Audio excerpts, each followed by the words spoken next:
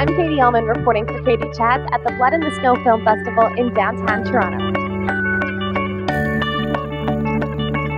I'm here with actor William Foley. How does it feel to be having the world premiere of Kingdom Come tonight here at the Blood in the Snow Film Festival? It feels pretty awesome. Um, it, would be great to see it on the big screen again. It was, uh, how long ago was it when we saw that?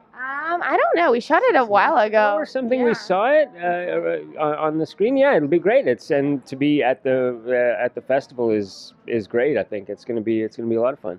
Yeah. And we definitely had an interesting dynamic in this film. Yes, we did. Um, Yeah. Can you speak a little bit to, you know, what it was like playing such a creepy character who may or may not prey on young girls?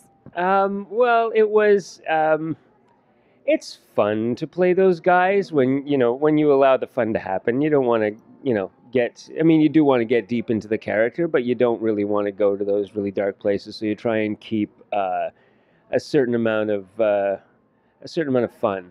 Uh, you, you, uh, there was a lot of joking around, as you know. There were a lot of. Uh, um, yeah, you, you try and keep things light with with the heavy stuff when when it's uh, when it's not being shot. And you were always such a professional on set, making everyone comfortable. Well, it's true. Thank you. and recently, you you played a different type of monster in The Tempest. What was that like? Uh, that was uh, that was a lot of fun. It was um, uh, I played Caliban in the Tempest at Hart House Theater recently, and it was I don't know. I'm always playing monsters, and and I you know I try not to be a bad guy, but You're like the nicest person. but well I, I'm the nicest. I don't know, but thank you.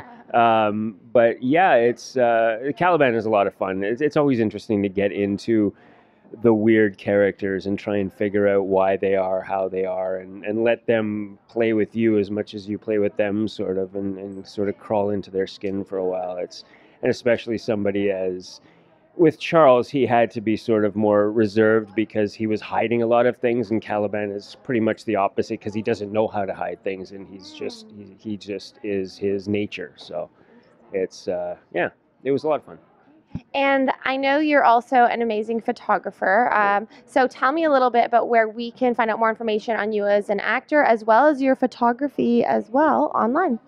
Uh, well, online in regards to um, in regards to acting, there's not much so far. I'm planning on starting a, a YouTube channel, and hopefully in the spring with just little sort of promotional things, skits of mine, writings of mine, because I've been writing stuff for years and years and years, and I just never had a vehicle for them. You know, there's I've done cabarets and things like that, and uh, and spoken word places and things like that. But now I've realized I can I can film these things and, and put them out there. You know, just uh, at very least for promotional, so that hopefully will be called Billy and Friends, meaning me and some of my friends doing stuff, and also some of the friends that I created along the way in my in my weird little mind.